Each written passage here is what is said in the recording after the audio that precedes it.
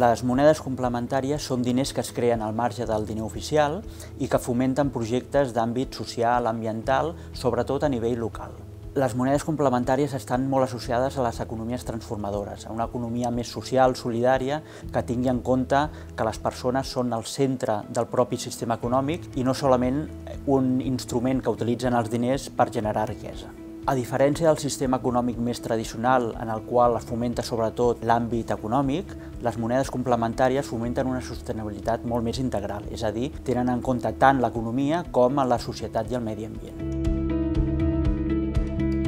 A mi m'agrada utilitzar el concepte complementàries perquè realment eh, fan això, complementen el diner oficial.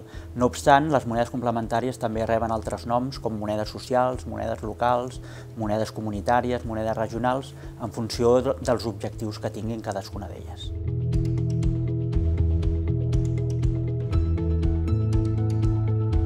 Hi ha diferents tipologies de monedes complementàries. Una classificació les cataloga en quatre tipus diferents. Una són els bancs de temps, és a dir, són monedes on la unitat d'intercanvi és el temps, una hora, un minut, etc.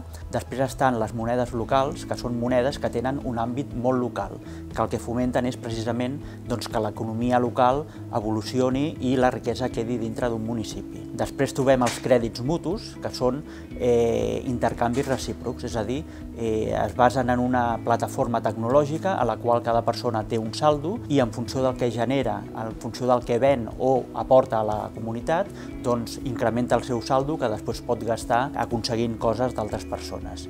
I finalment tenim els mercats de troc, que són els mercats més tradicionals, que solen tenir llocs a nivell físic en mercats i es realitzen intercanvis eh, de persona a persona sense que hi hagi una moneda pròpiament dit.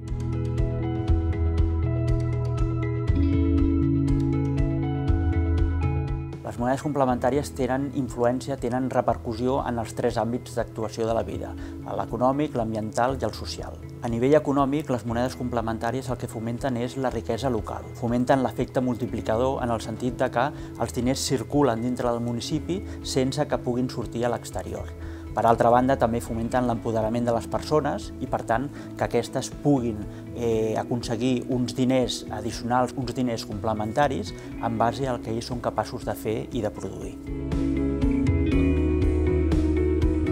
Nivell social, les monedes complementàries fomenten doncs, la cohesió social en el sentit de que permeten la relació entre les persones, també fomenten eh, l'autoestima, les persones se senten més identificades dintre de la comunitat a la que es troben i també fomenten l'empoderament, en el sentit de que les persones veuen que són capaces de dur a terme coses favorables eh, o en pro de la, de, de la societat. A nivell ambiental, aquest tipus de monedes doncs, fomenten conductes doncs, com el reciclatge, fomenten l'ús del transport públic, fins i tot estan vinculades al foment de projectes d'energies de, renovables. Per tant, en aquest sentit, també estan apostant per l'àmbit eh, ambiental, més enllà del social i l'econòmic.